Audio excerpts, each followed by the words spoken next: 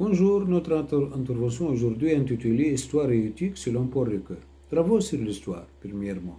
Ricoeur, sans pratiquer la philosophie de l'histoire, s'intéresse à l'histoire dans une perspective philosophique. Dans Histoire et vérité, 1955, il tente de définir la nature du concept de vérité en histoire et de différencier l'objectivité en histoire de l'objectivité dans les sciences dites exactes.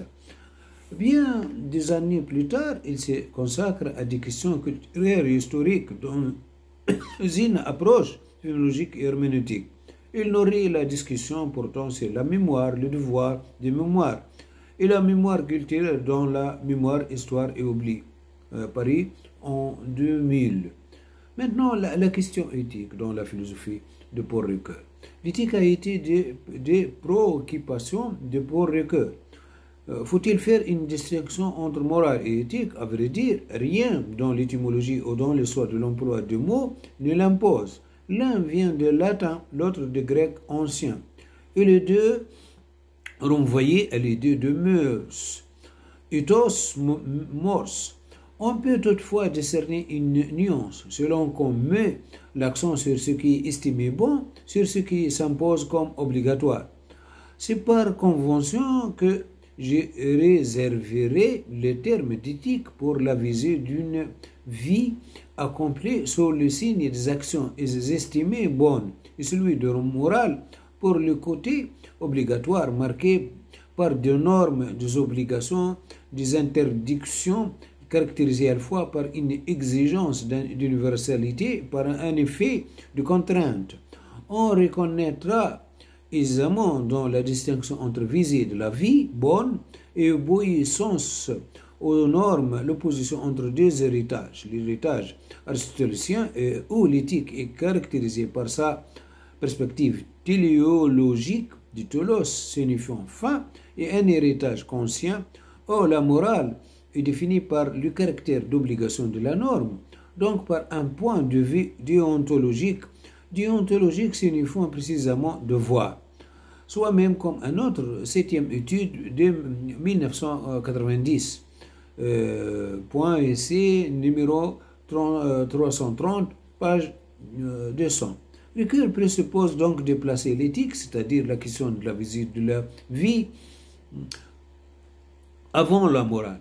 La question de normes L'éthique permettra dans les pages suivantes de soi comme un autre aux philosophes de penser l'estime de soi, alors que la morale interrogera sur le respect de soi.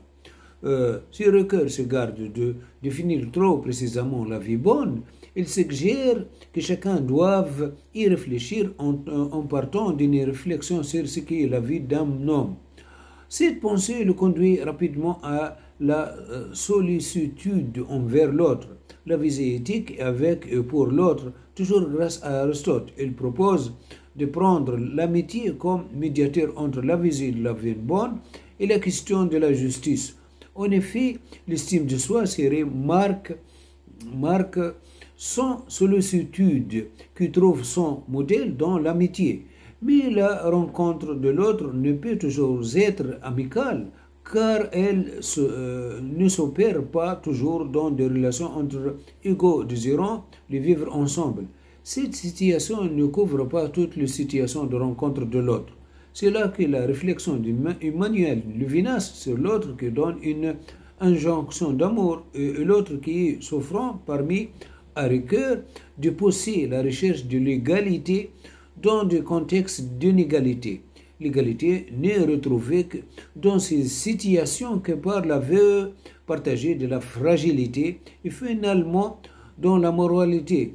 Cela conduit le philosophe à introduire le concept de réversibilité de rôle, d'un substituabilité de personnes et finalement de similitude entre entre elles. Ce dernier concept lui permet de, mettre comme fondement éthique l'estime de l'autre comme soi-même et équivalent à l'estime de soi comme un autre. C'est alors euh, que se pose la question des institutions par cœur. Car il n'y a pas une relation de face à face. Il y a aussi un il. Euh, qui suggère une idée de pluralité. Le vivre ne se limite donc pas à soi et aux relations interpersonnelles, mais s'étend aussi aux institutions. Au terme de sa réflexion sur les institutions justes, toujours dans son volet éthique et non moral, Ricoeur euh, détermine que le vis-à-vis de soi dont chaque humain est donné par l'idée d'égalité. Cette égalité permet des institutions justes. Voilà notre euh, intervention intitulée euh, Histoire et éthique selon Paul Ricoeur terminée. Merci bien de votre attention. Au revoir.